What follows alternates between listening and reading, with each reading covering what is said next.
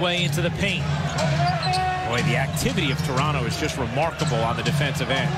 Griffin able to float it in and wanted a whistle before. Dragic to the line. So watch this, the bump it, and it's it's going straight into. I mean, that's tough no calls, but what a shot by Blake Griffin, and he's saying all day.